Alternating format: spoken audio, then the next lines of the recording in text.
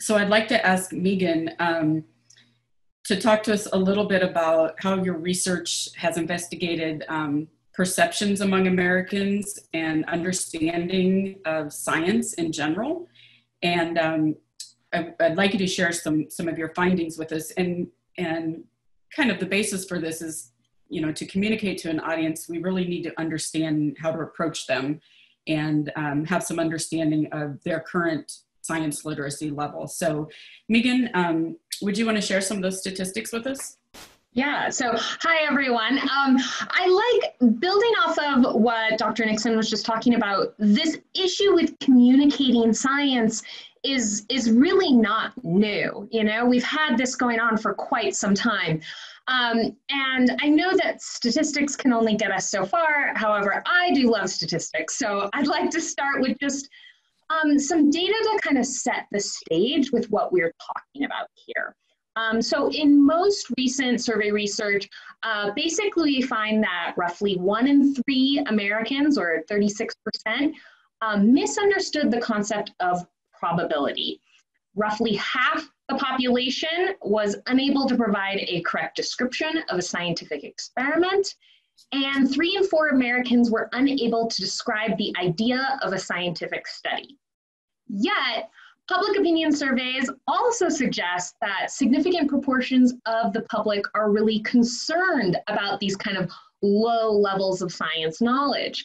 Um, so we have 44% of Americans who think that it's a big problem that people don't understand science in the news.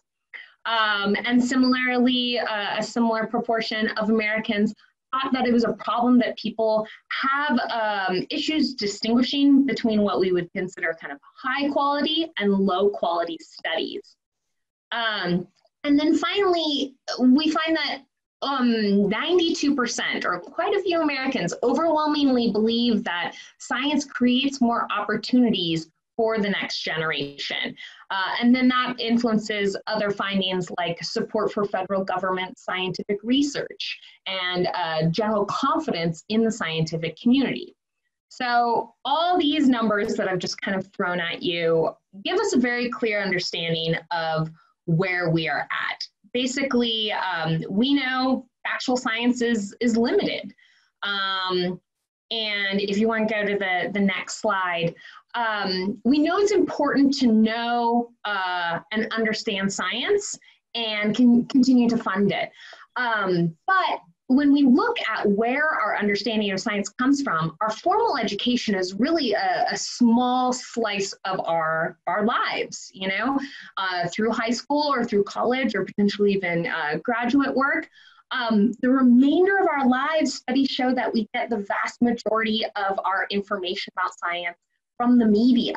Um, so once we leave school, um, so communicating science is an incredibly difficult thing to do, but it's it's really important. So I'm, I'm glad you're all here today and we continue to talk about how to be successful. Um, but one thing I, I want to kind of um, lay out here at the beginning of this conversation is that um, it's not so much that we face a communication challenge, it's a relationship challenge. Um, scientific training is, is very much uh, emphasizes, you know, uh, objectivity and, and distance from your subject. Uh, yet communication really emphasizes uh, subjectivity and emotional skills. So there's a little bit of, of a contrast that uh, we need to talk about how to overcome. So, thank you. All right, very good. So I put a quote up here um, that I don't think most people would disagree with, especially as we're um, watching things happen um, around COVID-19 right now. But Kari, I kind of want to come back to you and talk about addressing doubts and confusion related to science. So we might see two different stories in the press, um, and we're not sure how we, um, you know, most most people maybe aren't sure how to kind of sort through that information. Um, but I, I, so I thought I'd ask what advice you have for us as we prepare to share information with audiences, given that um, science is sometimes debated.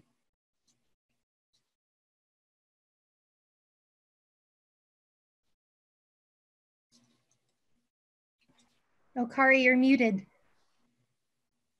Thanks, sorry. Um, I do have some specific tips that I will share um, a bit later on, but since you've brought up different um, different different representations of science or different recommendations coming up in the media i think it's a good time for me to mention um, what i've seen most from my work is after the development of germ theory in the 1880s and microbiology bacteriology in a society that was already becoming highly secularized religion was less and less the guiding force for people what I've seen in my research is that science became the new sort of guiding force of society where people got their information of how they should live and what they should do.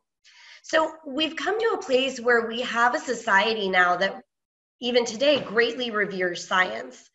And while that's mostly a good thing, in some ways I feel like it's it's outdone itself or confounded its own ends because today what I see in the lay public is that pro science people, now this is not dealing with the science deniers yet, but pro science people often valorize science so much in the lay public that they treat it as one omnipresent entity. And this um, goes back to what Megan was saying. Like, even people that I think really like science and promote science and want to do what science recommends talk about it like it's one thing with a capital S instead of what it really is, which is many individual humans like you or me um, working with messy data, often at very messy lab benches, and debating the results. Uh, this is why, as we all know in academia, this is why we have peer review, because even scientists don't always agree with the quality of one another's work and the findings that they draw from that. And so this isn't news to any of us here, but in the lay public, when we see things on social media like science recaps or this week in science, um, I think that's actually promoting a problematic message that makes the science denying community. In fact, I believe that creates the world of science doubters because they say, well, science disagreed with itself. And that for me comes from actually and paradoxically the world of revering science um, that we in the science communication field and as scientists, I think one of the biggest things we can do is try to debunk that sort of legendary status of the the scientist with one answer or one clear idea of truth and instead talk to them about what our daily life is like what you're doing at the lab bench how you've disagreed with other scientists so that we can slowly change the public image of science and scientists and how science is created. Um, that way when we have people promoting science in the lay public they're doing it in a way that doesn't sow doubt and skepticism when science has differing views. That's a great point. Thank you so much, Kari. Um, I want to go to Leah now. So, Leah, your work, um, and we've talked about it in, in other settings, and, and you've described it to me. And I think it's really interesting that the way you look at cultural and socioeconomic impact, um, factors that impact how different audiences receive uh, health information and scientific information. So, um, could you talk a little bit about how these character, characteristics tend to impact science literacy and how that can um, require us to communicate differently based on the audience that we're uh, working with? Yeah, absolutely. Thank you for that. Um, doctors Nixon and Makessy have already laid such a great framework for us to think not only about the history of how medicine and science have evolved, but also um, some of the concerns and considerations associated with components like uh, social norms, media literacy, information literacy, and the like. So, you know, when there's a lot of research that has been coming out in the last few decades that stresses the importance of cultural competency as a framework more broadly, but interwoven with that are health literacy and media literacy. So, at a starting base level, um, health literacy is ultimately the degree to which we can get access to, process, and then actually understand what we're finding in the media. Now, um, with uh, the prospect of fake news, with the way in which science and um, health sciences are evolving rapidly, we are starting to see now the propensity for individuals to potentially get access to either problematic, inaccurate information or we're starting to see that individuals might not even have access to the information that they might need. So I'm coming at this from a few different levels when we're thinking about um, the digital divide, particularly for um, lower socioeconomic classes or for individuals who live in rural areas and they might not have access to the internet that they may need. But I'm also thinking about this from a cultural perspective as well. And I absolutely don't want to talk about culture from a deficit perspective. Um, and I'm obviously not trying to essentialize any sort of cultural group or cultural background. But um, there can be an extra, an extra added layer um, or an extra barrier whenever the cultural backgrounds of the target audience are not kept in mind. So, at a broader framework, um, cultural competency includes cultural belief systems, communication styles, and health information, which all impact health literacy. And culturally, now in this moment, health literacy from a cultural competence perspective is even more necessary, particularly because research overwhelmingly suggests that, um, perhaps unsurprisingly, lower socioeconomic groups have lower levels of health literacy and populations of color also have lower levels of health literacy when compared to their white counterparts. So we're seeing um, larger health disparities here and larger information disparities here, not only in terms of how certain communities get access to the information and then by extension, how they make sense of it. Um, according to the US Department of Health and Human Services, nearly 36% of US adults have low health literacy. And that's I mean, it might seem like a small percentage, but when we think about the entire population of the United States, that is large. And, you know, I think that is even further exacerbated in our, co- our current moment. Like with COVID, for example, when we saw the evolution of how health sciences was playing out when it came to masks, when it came to respirators and things of that nature, um, you have the evolution of the sciences and the information coupled with the disbelief, the mandates, and the don't tread on me argument, essentially, which is all further sort of exacerbated by cultural backgrounds and cultural belief systems. Can I jump in here, Amy, real quick? Yes, we got a, a, question from one of our audience members that kind of relates to this here. Um, asking specifically about how maybe the media or science literacy relates to educational levels of formal education. And then uh, a little further down, a second question about how the paywall of that we put in front of a lot of our scientific journals could be impacting that as well. Okay, so um, any of our panelists uh, that want to address the questions, feel free to. Yeah, well, I think the paywall is um, problematic enough to begin with because then the information becomes kind of insular. Um, but then by extension, um, I'm actually currently working on a few research projects where we're looking at um, pandemic shaming in the media and the ways in which uh, larger American populations are preferring to get information and from where. And this is purely anecdotal from um, the higher education perspective, but I've seen several academics um, and those perhaps with higher levels of formal education relying on the news and the media because it's updating at a faster rate than the information we're finding in the articles. And Megan, I see you nodding. Yeah, I, I, mean, I was just going to say, yes, there's there's a, a pretty well established connection between education and and these various uh, levels of literacy that Dr. Hernandez was talking about.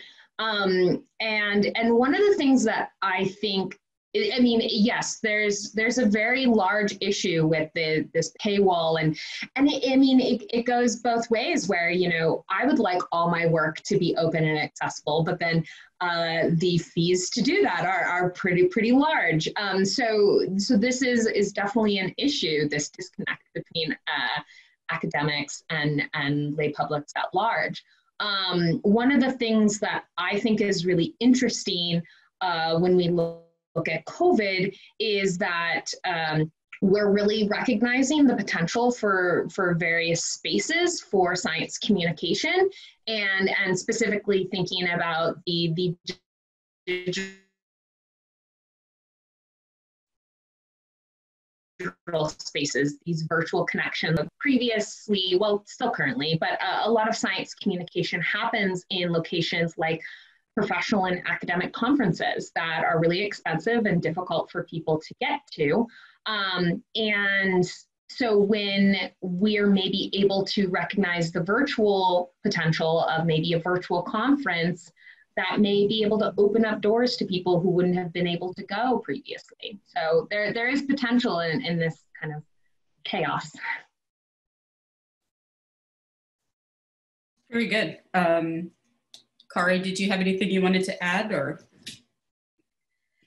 Um, in response to that question, the thing I'm just thinking of again is that even those of us, as as Dr. Hernandez said, you know, even academics I see sharing, you know, popular media links um, about COVID, and again, to me, that says that um, regardless of socioeconomic status, we in the Western world feel very entitled to have our science prepackaged and ready made. We've never had to go through a time where science just didn't know and we're kind of flailing around like bugs on our backs right now. That and to me it just demonstrates how used to um, science having the answers already we've gotten. So and i don't exclude myself from that. Um, and that is part of the problem that perpetuates in my opinion some latent distrust of science because we've always promoted it as or not promoted it, but we believe that it would always already have the answers for us.